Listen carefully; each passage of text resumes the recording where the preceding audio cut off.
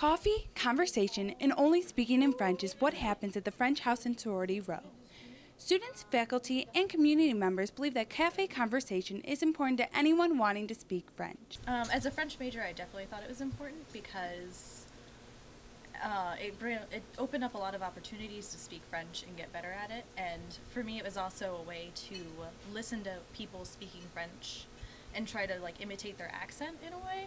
Faculty advisor Jennifer Walter encourages her students to attend. Um, I find that it's really exciting to get students to experience something outside of the classroom, so it gives them um, a real life setting to be able to practice their French.